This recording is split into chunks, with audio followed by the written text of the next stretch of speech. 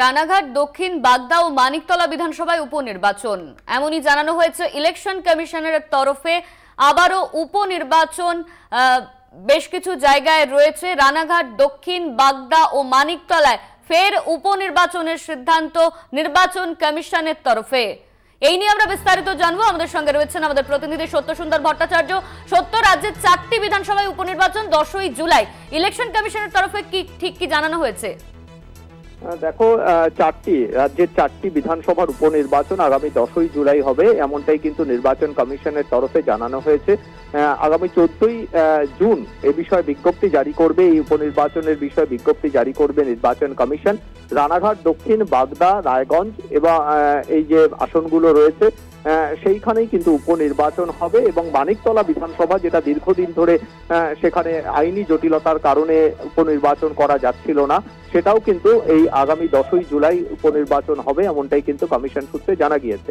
যেহেতু আগামী চোদ্দই জুন এই চারটি বিধানসভার নির্বাচনের, উপনির্বাচনের জন্য বিজ্ঞপ্তি জারি হচ্ছে, সেই দিন থেকেই মনোনয়নপত্র জমা দেওয়ার প্রক্রিয়া শুরু হবে এবং সেদিন থেকেই এই চারটি বিধানসভা এলাকায় আদর্শ আচরণবিধি লাগু হবে, এমনটাই কিন্তু কমিশন সূত্রে জানা গিয়েছে।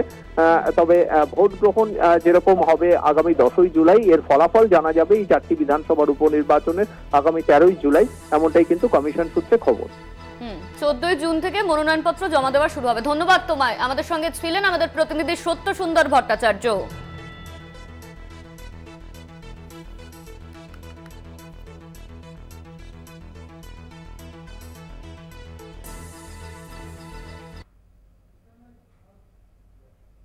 পূর্ব মেদিনীপুরের জেলা শাসক হলেন পূর্ণেন্দু মাঝি। রবিবারই জেলা শাসক পদ থেকে সরানো হয় জয়শ্রী দাশগুপ্তকে।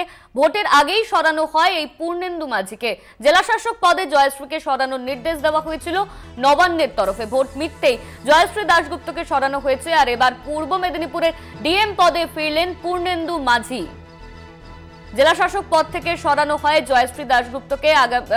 গতকাল সরানো হয়েছিল তাকে। নবান্নের তরফে এমনই নির্দেশিকা জারি করা হয়েছিল। পূর্ব মেদিনীপুরে জেলা শাসক হলেন পূর্ণেন্দু মাঝি। রবিবারই জেলা শাসক পদ থেকে সরানো হয় জয়শ্রী দাশগুপ্তকে। ভোট মিটতেই তাকে সরানো হয়েছিল।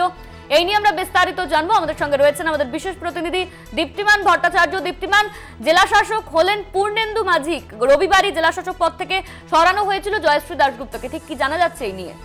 একেবারে দেখো পূর্ণেন্দু মাঝি এর আগে পূর্ব মেদিনীপুরের তিনি ডিএম ছিলেন, কিন্তু ভোটের আগে, তিন চার মাস আগে তাকে কিন্তু পূর্ব বর্ধমানে ডিএম করে পাঠানো হয়।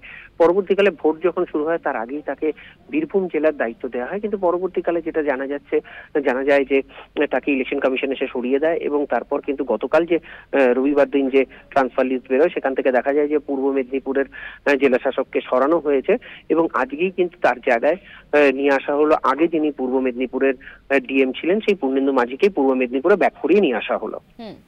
ধন্যবাদ তোমায়, দীপ্তিমান। আমাদের সঙ্গে ছিলেন আমাদের বিশেষ প্রতিনিধি দীপ্তিমান ভট্টাচার্য।